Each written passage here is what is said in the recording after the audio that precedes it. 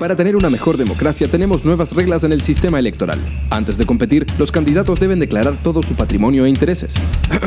todo su patrimonio y todos sus intereses. Desde ahora todos los candidatos parten igual y ya no se permiten aportes de empresas.